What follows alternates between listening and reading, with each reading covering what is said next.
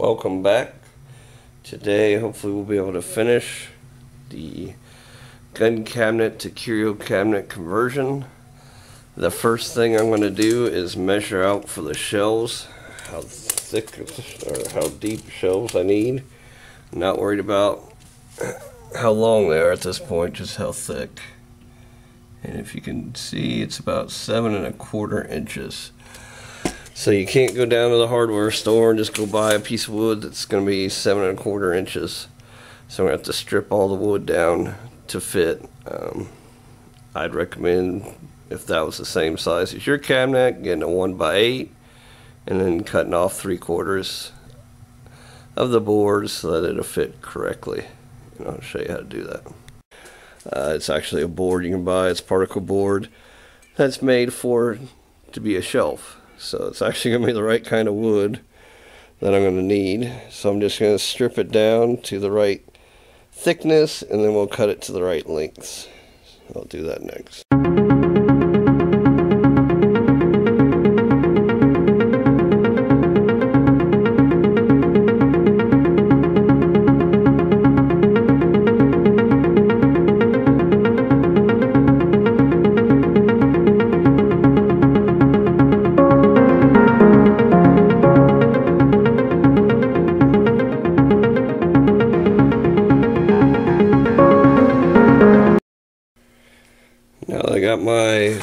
Shelves cut the right width.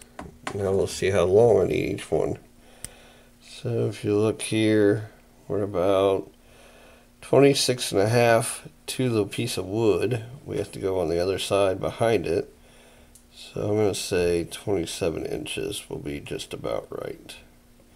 So, we're gonna, so I got my board that we already cut.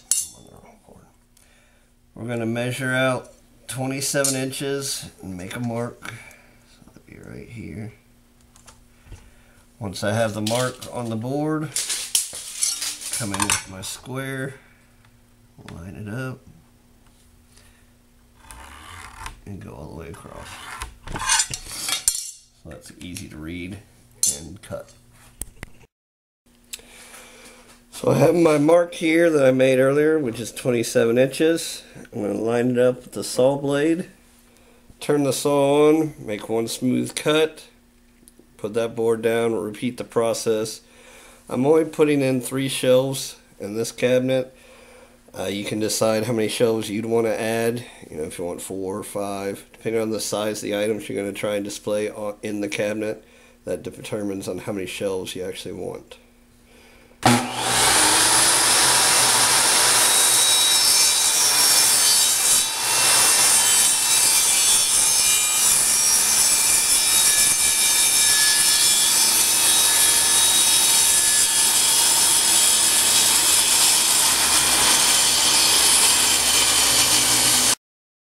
Now this is the leftover piece when I made my two cuts on the long board for my shelving and I decided I'm just going to use this as the brace for the shelf.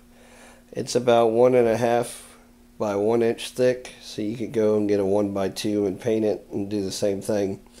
I'm not able to use the mounting brackets like in a normal curio which would be something like this due to this back being a particle board. It's really thin. I'd have to add an extra strip of wood anyways. So if I'm going to add a strip of wood, I'm just going to do it the easy way and use a 1x2 and hold the shelves up that way. So I'll next cut down this 1x2 to fit inside the cabinet and then I'll show you how to mount everything together. Alright, I have all my pieces cut. Um, went ahead and just cut all of them. And I didn't show you just because it'd be the same repeated process. I have my three shelves. As I stated, I was putting three shelves in this one. This shelf is actually an inch thinner due to the wood trim at the bottom. And all I'm using this shelf to do is to hide where the rifle uh, butts used to go in the gun cabinet.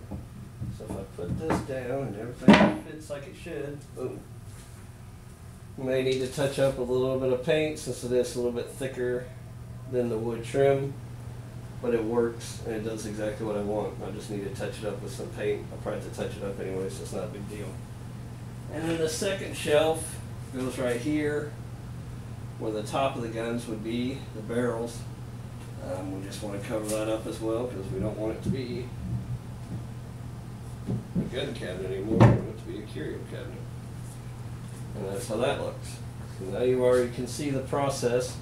And now all we have to do is get our tape measure and measure between the bottom shelf and that shelf we just put in. And figure out where exactly we want to put our next shelf. And it's roughly 34 inches, give or take. So we're going to come in, we know it's 34 inches. We're going to come up 17 inches, because that'd be half. Come in with our trim piece. Put it in the back and the sides to be able to hold that shelf at 17 inches. And that would be finishing up the top.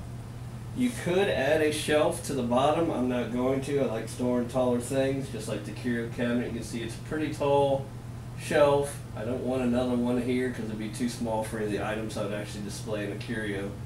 So I'm just going to put the three, which is actually two shelves in the bottom, because I want to be able to display bigger things. If you wanted to put more shelves, you just need more of the one by twos. Measure out how far distance you want to put the shelves. You can put five shelves, three shelves, four shelves.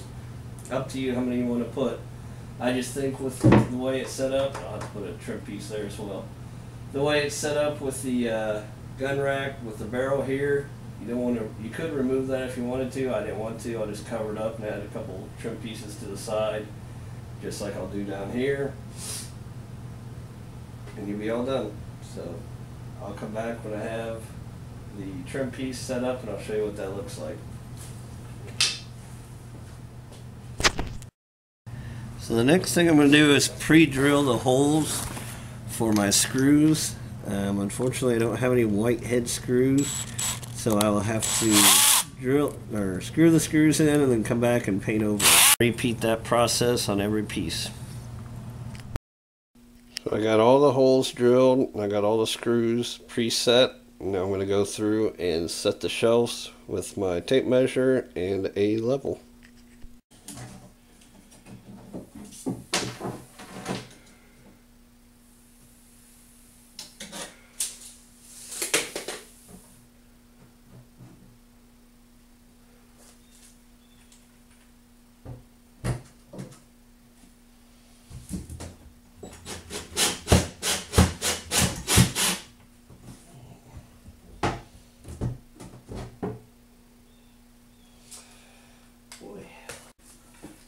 Once again, I said if you wanted to add shelves at the bottom, you could feel free to do that. I'm not going to just because I know the size of items that I'm going to put in this curio are going to be a little bit taller, so I don't want to have to mess with shelving.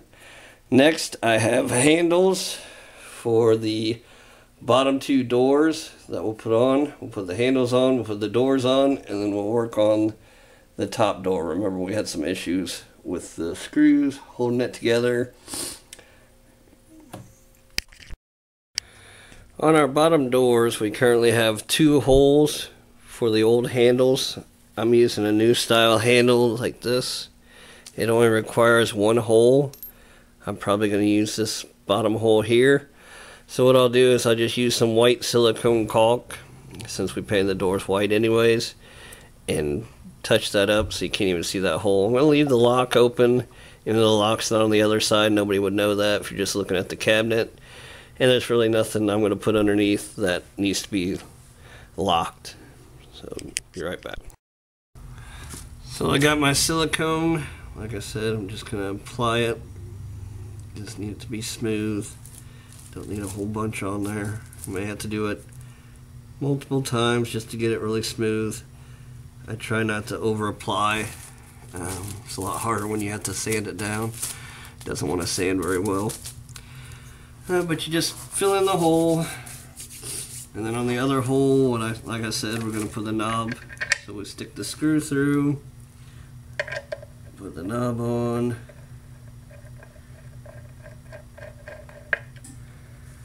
There you go. So now our door actually has a knob. It'll look really nice when we put them on. I'm going to duplicate that on the other side, and then I'll be right back. Alright, I got both holes filled. I got the handles on. Now I'm going to go ahead and install the doors. Um, we did not remove the old holes, so this should not be a hard process to reinstall the doors back where they were. Shouldn't have any issues with alignment. Because like I said, we're using the same same holes from the first time. They were installed from the factory.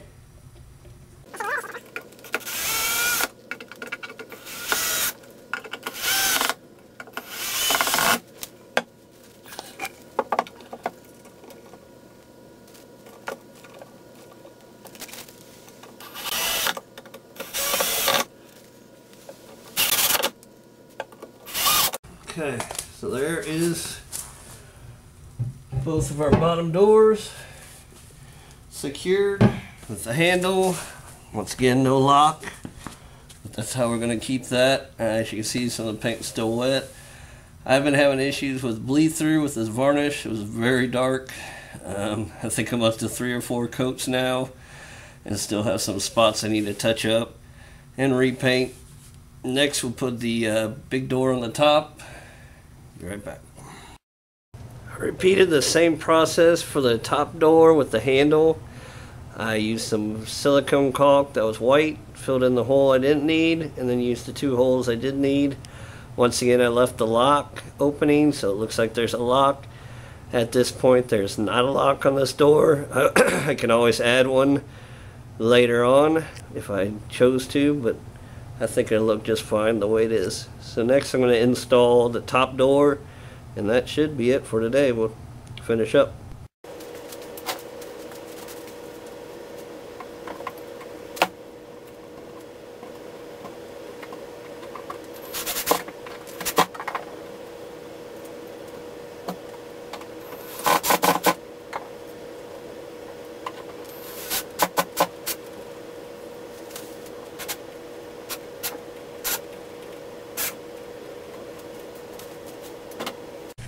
Okay, of course it's a little dirty, has sawdust on it, but there is a completed curio from gun cabinet to curio cabinet.